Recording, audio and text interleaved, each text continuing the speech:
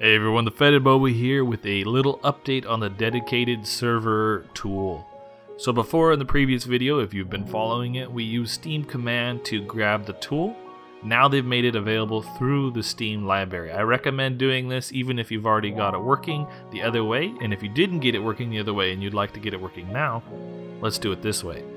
All of the configuration setup is still the same in that previous video, so if you're just getting to this video the first time and you haven't seen the other one, please check that one out if you'd like to see how to set it up. So first of all, I'd like to read this from Dishmeek, and I apologize if I'm saying that wrong, but uh, I love the avatar by the way, the portal cube. The companion cube, my bad. For your launch dedicated server to work, a valid configuration is mandatory. Default setup will not work. We are currently working through a lots of issues with the dedicated servers and still recommend most players continue to play regular P2P, which is peer to peer multiplayer. This is you being the host while playing the game at the same time instead of having a server. While the issues are ironed out. So this is still volatile, there may be issues, your server may explode, things might not get saved. They're just warning you, so you're warned. So now let's go ahead and check out how to install this.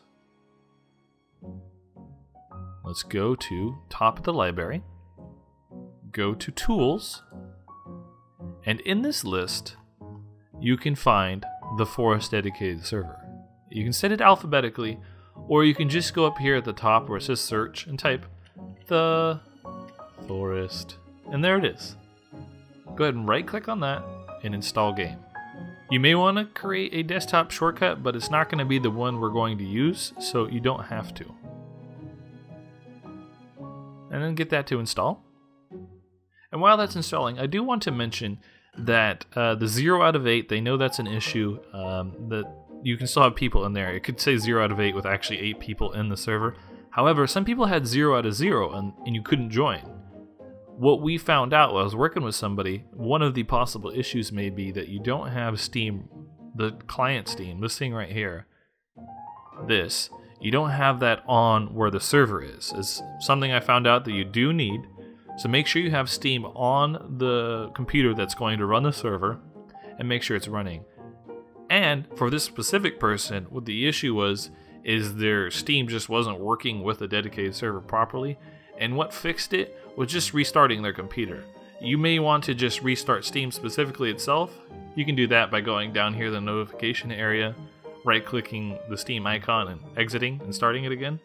But they restarted it and then it worked for them. And they, they lost the 0 out of 0 and they went to a 0 out of 8 instead. Alright, now that it's finished downloading, you're going to want to right click it, Properties. In the tab list, you want to click Local Files, Browse Local Files, and here we have it installed. I've actually already made a dedicated shortcut, but this is what you did in the previous video if you followed the Steam command thing. Now it's installed into your Steam location area though. Also, more importantly, why you want to do this if you've already done the Steam command one, is this one's going to update itself automatically. The other one you're going to have to manage yourself, uh, which could be a good or a bad thing. So what you'll like to do is right click create shortcut. From there, right click properties, that shortcut, and from my previous video, you may have done the dedicated route or the parameter route. If you don't know what that is, top right in the description or in the comments, I will have that video and you can watch it for the configuration. You can skip and go past the Steam command part, and you'll just be moving on to setting up the other parts of the server instead. So right here, we set dedicated, because I'm still wanting to use my Steam configura configuration file, and it's still in the same location. So if you set that up previously, you're still using that file.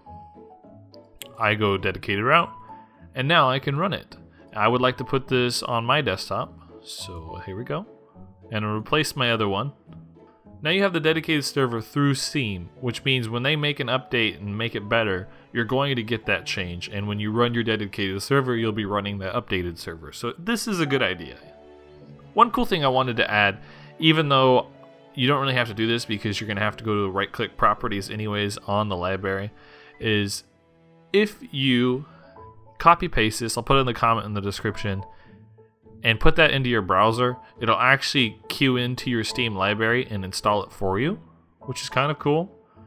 Um, but again, you're gonna have to go into there and create the shortcut and put it somewhere and add the dedicated and all the configuration anyways. So since you're already gonna get your hands dirty, this isn't really necessary, but I thought it was cool. So if you put this in your browser, it'll install it for you. Well, thanks to the devs for fixing that up for us. And keep in mind, this is in a volatile state. They're they're getting out all the bugs and the kinks. Um, I hope they add more features, you know, like being able to see the chat and who's in the game. Perhaps type to people to say like, "Hey, I'm gonna close the server down" or something, without having to log in with an actual character. But this is where we're at right now, so keep that in mind. It's a little volatile, but now you can have it update to what, what they're doing. So hopefully that helps, and if you have any questions, definitely go down below or in my previous video where we go over the configuration settings, and I'll try to help out. Uh, if we get more features, I'll make videos on that. There'll probably be an update, so it'll just be an update video.